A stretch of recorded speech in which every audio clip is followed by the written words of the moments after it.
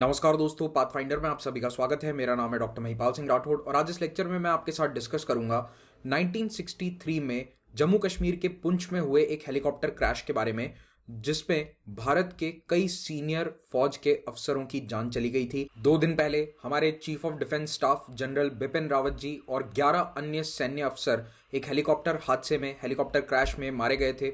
तो मेरी तरफ़ से, पूरे पाथ फाइंडर टीम की तरफ़ से सबसे पहले इन सभी को श्रद्धांजलि।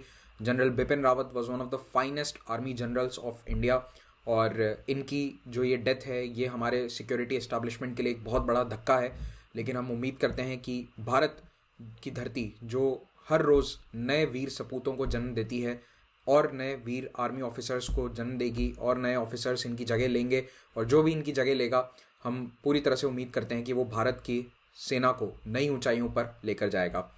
इस हेलीकॉप्टर हादसे ने आज से अट्ठावन साल पहले हुए एक अन्य हेलीकॉप्टर हादसे की हमें याद दिला दी।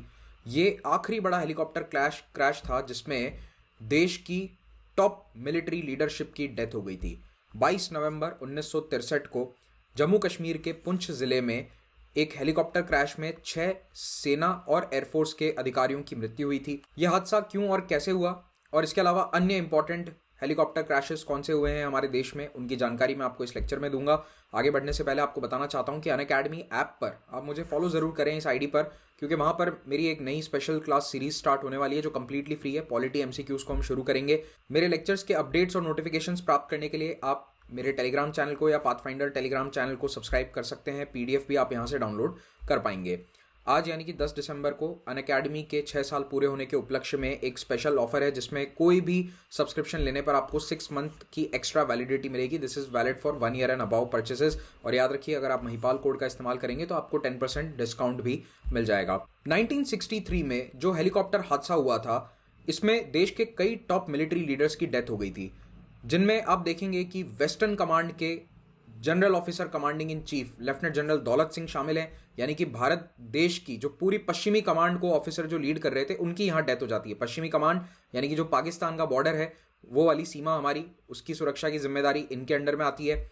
दूसरे थे 15 कोर के GOC lieutenant general Vikram Singh 15 corps सेना का वो अंग है, जो जम्मू कश्मीर में तैनात रहता है 1948 से। यानी कि बिल्कुल शुरुआत से 15 कोर जम्मू कश्मीर में पूरा सुरक्षा का जिम्मा संभाले हुए है। तो आज भी जो पूरा कश्मीर वैली है, उसको 15 कोर हैंडल करती है। I mean the security of Kashmir valley is under 15 corps तो ये एक तरह से जम्मू कश्मीर में आर्मी के लीडर हैं।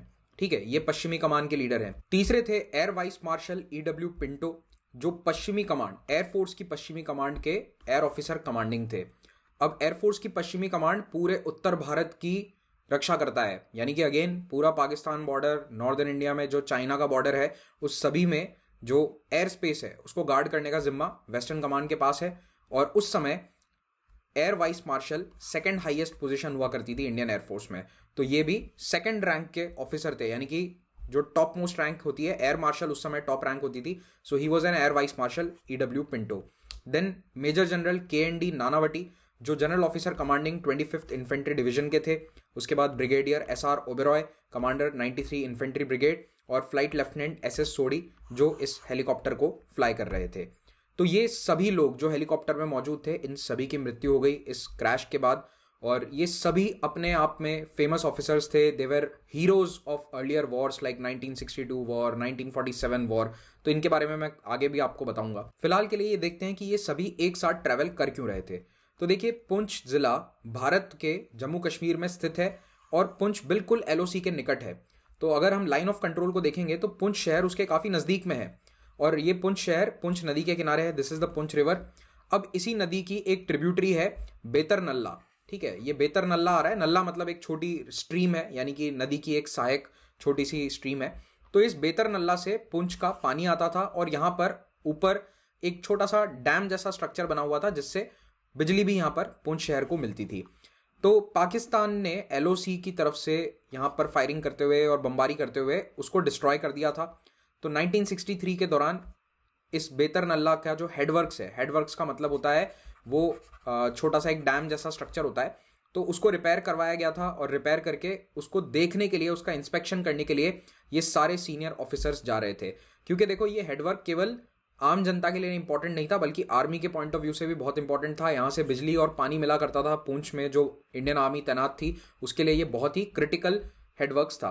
तो इसी को देखने के लिए, इसका निरीक्षण करने के लिए हेलीकॉप्टर से ये सभी अधिकारी जा रहे थे।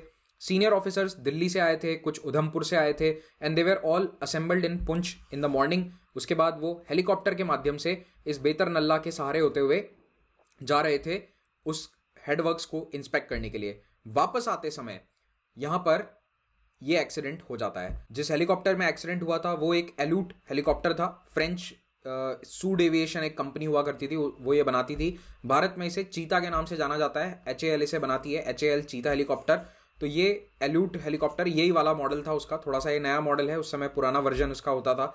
तो वो वाला हेलीकॉप्टर फ्लाई कर रहा था। काफ़ी कॉमन हेलीकॉप्टर है। दुनिया भर की कई एयरफोर्स आर्मीज नेवीज इसे इस्तेमाल करती थी। 1960s 70s और 80s में ये बहुत पॉपुलर हेलीकॉप्टर हुआ करता था।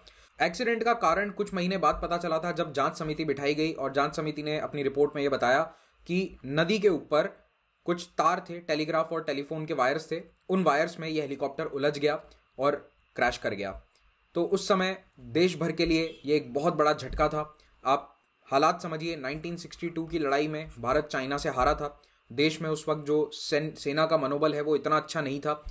और ऐसे में एक साल बाद ही देश की टॉप मिलिट्री लीडरशिप वो भी खास करके उत्तर भारत वेस्टर्न बॉर्डर्स को कमांड करने वाले टॉप मिलिट्री जनरल्स की जब डेथ हो जाती है हेलीकॉप्टर क्रैश में तो देश के लिए एक बहुत बड़ा धक्का था उस समय। पार्लियामेंट तब भी सेशन में थी, अभी की तरह विंटर सेशन चल रहा था। देश के रक्षा मंत्री थे वाई बी चौहान उन्होंने देश को इसके बारे में जानकारी दी और ये भी बताया कि वहाँ पर उस समय दो हेलीकॉप्टर थे। तो अगर ये ऑफिसर्स चाहते तो शायद दो हेलीकॉप्टर में जा सकते थे, लेकिन बाद में जाँच हुई तब पता चला कि जहाँ पर उन्हें जाना था और लैंड करना था, वहाँ पर ये केवल एक छोटा हेलीकॉप्टर लैंड कर सकता था, दूसरा हेलीकॉप्टर वहाँ लैंड नहीं कर सकता था। इसीलिए ये सभी एक ही हेलीकॉप्टर में चले गए थे। तो दो हेलीकॉप्टर होने के बावजूद सभी ऑफिसर्स एक ही हेलीकॉप्टर में बैठकर गए थे।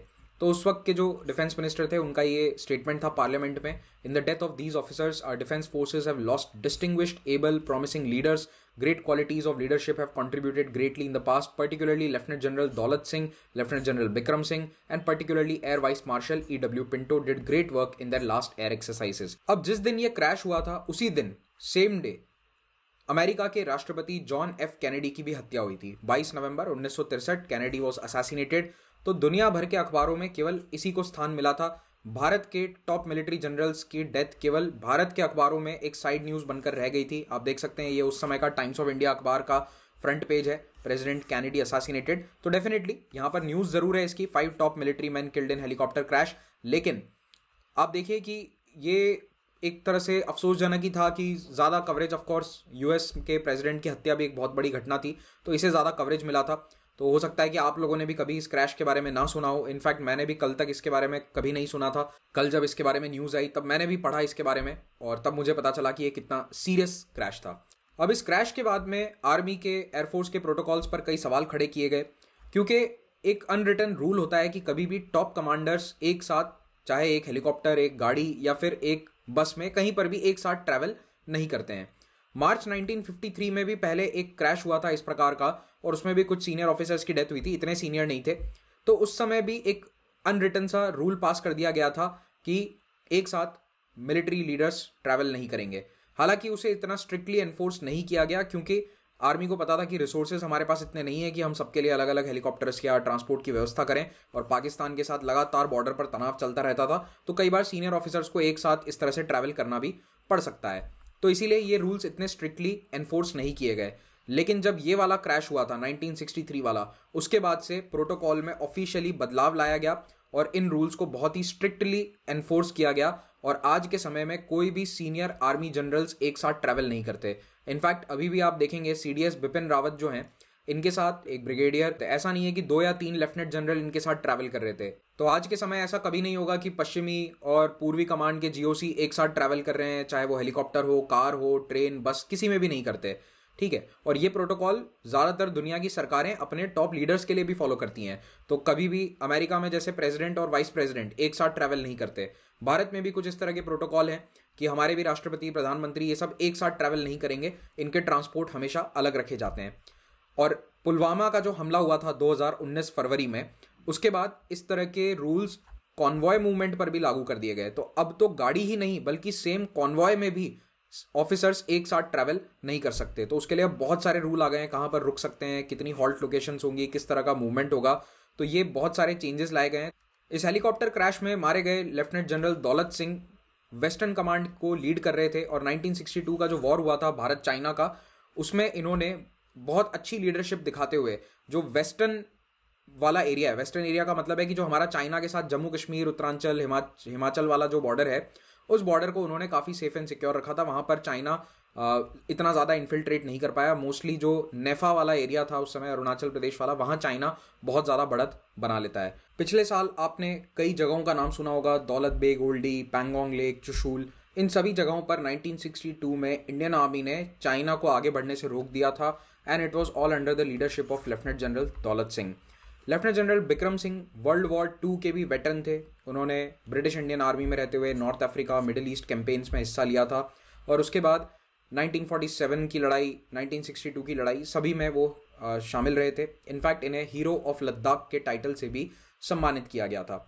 ये ओरिजिनली पंजाब के नावा शहर से थे, लेकिन जम्मू कश्मीर के लोगों में ये इतने पॉपुलर थे कि इनका अंतिम संस्कार जम्मू में किया गया। और आज भी इनके नाम के पीछे जम्मू में बिक्रम चौक है। और बिक्रम चौक के अलावा वहाँ पर एक बिक्रम सोसाइटी भी है, जो कई सारे फ़ंक्शंस वगैरह ऑर्गेनाइज करवाती है, और इनका एक स्टैचू भी बिक्रम चौक पर लगा हुआ है, जो ये बताता है कि despite being from Punjab he was so much popular in Jammu and Ladakh region इसके बाद हम कुछ और एयरक्राफ्ट या हेलीकॉप्टर क्रैशेस के बारे में जानते हैं, जिन्होंने इंडियन आर्मी को काफ़ी नुकसान पहुँचाया। 1952 में एक डेवॉन प्लेन क्रैश हुआ था लखनऊ में, लेकिन किस्मत से इसमें किसी की भी मृत्यु नहीं होती है, पर यह बहुत ही खतरनाक साबित होता अगर किसी की मृत्यु हो जाती, क्योंकि इस एयरप्लेन में भारत के दो future chief of army staffs थे, lieutenant general S M Shrinagesh, major general K S Thimayya. उस समय ये लेफ्टिनेंट जनरल और मेजर जनरल थे। आगे चलकर ये इंडियन आर्मी के चीफ बने थे। दोनों ही इस प्लेन में शामिल थे। और भी कई सारे सीनियर ऑफिसर्स यहाँ पर थे। 14 नवंबर 1997 को अरुणाचल प्रदेश के तवांग डिस्ट्रिक्ट के लुंगार सेक्टर में एक हेलीकॉप्टर क्रैश हुआ। जिसमें हमारे union minister of state for defence, N V N Somu, जो कि तमिलनाडु के एक पॉलिटिशियन थे, इनकी और तीन सीनियर ऑफिसर्स की डेथ होती है, एक मेजर जनरल भी इनमें शामिल थे। तो भारत के जूनियर डिफेंस मिनिस्टर एक हेलीकॉप्टर क्रैश में, तवांग में मारे गए थे 97 में। जब ये प्लेन क्रैश हुआ था, उस समय ये 4000 मीटर से भी ज़्यादा की ऊंचाई पर था which is a very difficult terrain 1993 में भूटान में एक मी एट हेलीकॉप्टर क्रैश हुआ, जिसमें eastern army commander lieutenant general Jamil Mahmood की डेथ हो गई। इनके अलावा सात और इंडियन आर्मी ऑफिसर्स और जवान यहाँ मारे जाते हैं। 2019 के अक्टूबर में, यानी कि लगभग दो साल पहले, पुंछ में ही एक Dhruv advance light helicopter crash हुआ, लेकिन किस्मत से इस बार किसी की जान नहीं गई। नौ लोग चोटिल हुए थे और इसमें northern army commander lieutenant general Ranbir Singh बच गए, वो भी इसमें इंजर हुए थे। 2020 में इंडियन एयरफोर्स का मी 17 हेलीकॉप्टर क्रैश हुआ तवांग में बोमडीर नाम की एक जगह है वहाँ पर, और इसमें 12 लोगों की मृत्यु हो जाती है। इसमें एक लेफ्टिनेंट कर्नल लेवल के ऑफिसर शामिल थे। तो इस तरह से हमने देखा कि भारत के आर्म फोर्सेस में कई हेलीकॉप्टर या प्लेन क्रैशेस हुए हैं, लेकिन इतनी सीनियर लीडरशिप हमने केवल दो क्रैशेस में खोई है। एक 1963 वाला ये क्रैश जिसकी चर्चा हमने करी, और दूसरा सीडीएस जनरल बिपिन रावत और उनके साथ 11 अन्य सैन्य अफसर जिस क्रैश में अभी मारे गए हैं, ये वाला। तो ये हमें बताता है कि हमें हमेशा इतिहास से सबक लेना चाहिए और हमने लिया भी। अब सीनियर कमांडर से एक साथ ट्रैवल नहीं करते हैं तो हम उम्मीद करते हैं कि भविष्य में इस तरह की घटनाएँ कभी भी ना हो। इसी के साथ ये लेक्चर मैं आज आप समाप्त करता हूँ और आपको बताना चाहता हूँ कि कॉम्बैट इस संडे को 11 बजे होने वाला है। कॉम्बैट में हिस्सा लेकर आपको किसी से लड़ाई नहीं लड़नी है, आपको दूसरे एस्पिरेंट्स के साथ मार्क्स की लड़ाई लड़नी है। तो जो टॉप रैंक लेकर आएगा, उसको अन अकेडमी की तरफ़ से स्कॉलरशिप्स ऑफ़र करी जाएँगी। और इन स्कॉलरशिप्स का फ़ायदा क्या है कि आप अन अकेडमी प्लस कोर्स को ज्वाइन कर सकते हैं। तो यहाँ पर आपको देश के बेस्ट एजुकेटर्स लाइव पढ़ाएँगे प्लस और आइकॉनिक दो प्रकार के सब्सक्रिप्शन मॉडल्स हैं। आइकॉनिक में आपको पर्सनल मेंटरशिप भी मिलती है, ये एक एडिशनल बेनिफिट है। इन सभी कोर्सेज में आपको टेन परसेंट डिस्काउंट मिलता है। अगर आप महिपाल कोड का इस्तेमाल करते हैं तो ऑप्शनल के कोर्सेज भी अवेलेबल हैं। ईएमआई पर आप इन कोर्सेज को अवेल कर सकते हैं। ईएमआई कैसे अवेल करना है डिस्क्रिप्शन में आपको पता चल जाएगा। लिंक दे रखा है फ़र्स्ट लिंक गूगल फॉर्म उस पर क्लिक कीजिए। साल के अंत में कोर्सेज की प्राइस को बढ़ाया जाता है। लास्ट वीक नाइन दिसंबर को लास्ट वीक प्राइस थोड़ा सा बढ़ा है। सिक्सटीन को थ्री थाउज़ेंड रुपीज़ का और हाइक आ रहा है। तो इससे पहले ही आप सब्सक्रिप्शन को अवेल कर सकते हैं। प्लस सब्सक्रिप्शन लेने के बाद आप मेरा ongoing concept of polity NCERT course को भी ज्वाइन कर सकते हैं। और इसमें मैं इलेवेंथ क्लास की जो एन सी है, उनको काफ़ी डिटेल में समझा रहा हूँ। चैप्टर बाय चैप्टर हम पूरा कवर कर रहे हैं। इससे आपका पॉलिटी का बहुत अच्छा बेस तैयार होगा। पंद्रह दिसंबर से नए बैचेस स्टार्ट हो रहे हैं। हर वेंसडे को नया बैच बनता है। इनको भी आप ज्वाइन कर सकते हैं। हमारी तीन फ्री टेस्ट सीरीज़ हैं। इनको आप ज़रूर अवेल कीजिए। महिपाल कोड इस्तेमाल करके आप कोई भी फ्री टेस्ट सीरीज़ क्लास देख सकते हैं अन अकेडमी ऐप पर। एक आइकॉनिक सब्सक्रिप्शन स्टूडेंट्स के लिए लाइव मेंटरिंग प्लेटफॉर्म हमने चालू किया है। इसका भी फ़ायदा उठाइए। Thank you very much for watching this have a great day